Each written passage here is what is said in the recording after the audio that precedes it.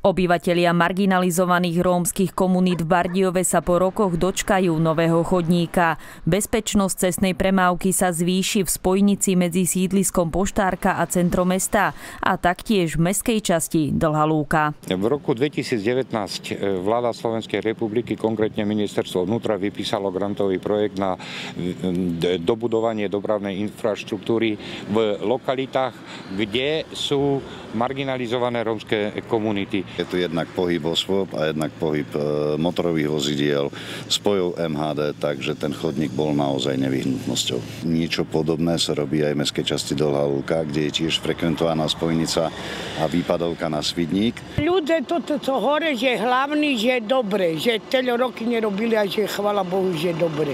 Po koľkých rokoch sa dočkáte chodníka? 20 roky tu už, keď už. Vydrží veľo, keď sa budú starať. Cesta do školy by mala byť odteraz bezpečnejšia aj pre malého Milanka. Auta išli rýchlo.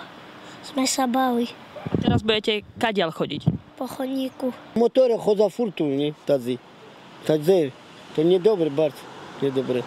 Rýchlo chodia auta? No aj, bože môj, to no.